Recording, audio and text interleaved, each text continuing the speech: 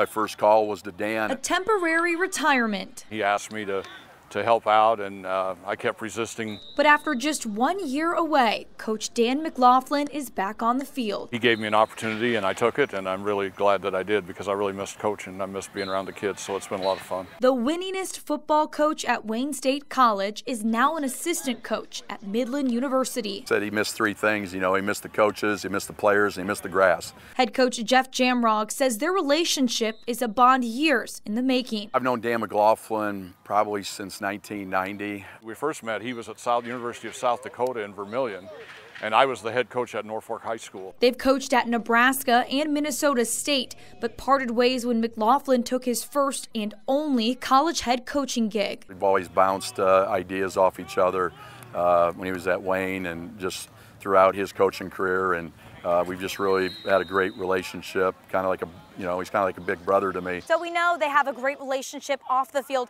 but what do the players feel about that duo on the field? I've really enjoyed, uh, you know, having him as a coach. He has so much knowledge and he's got some funny stories. Uh, some of his jokes are a little bit outdated, but uh, I think we're complimentary of each other. Uh, we kind of play off each other, you know, and I've had other coaches say that about us. A pair with a heavy history looking forward to the future. Do you hope to kind of con continue coaching until you just can't anymore? Well, you know, that remains to be seen. I, I just turned 66, and so, uh, you know, you don't coach forever, you know, uh, uh, so eventually it'll end, but uh, as long as I'm having fun, I'll keep doing it, and I'm having a lot of fun now. In Fremont, Amanda Poole, News Channel, Nebraska.